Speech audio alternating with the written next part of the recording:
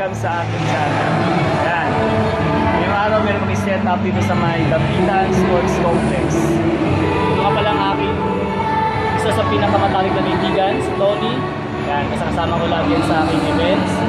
Ito, for the first time, in the house, Potpon. Yan, yan, yan. So, ngayon, i-set up namin yan. Kita niyo.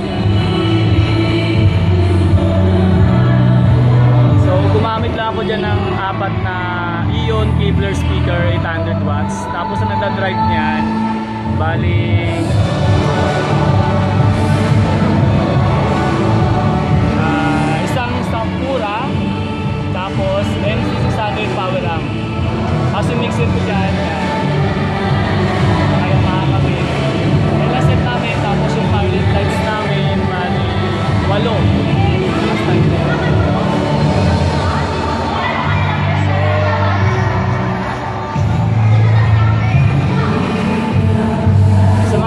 events, hindi ako masyado nag-set up ng face up kasi pwede naman sa dahil kulong.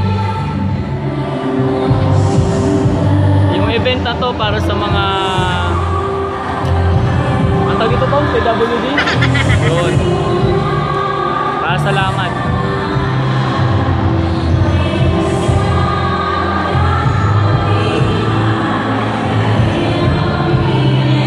So ngayon wala pa masyadong tao, nakapila pa sa labas at hindi pa nag-start yung program.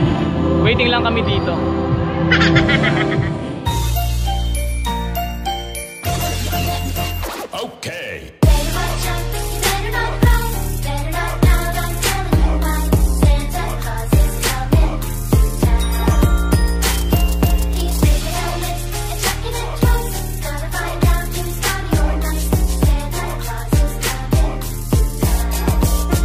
Just turn it on.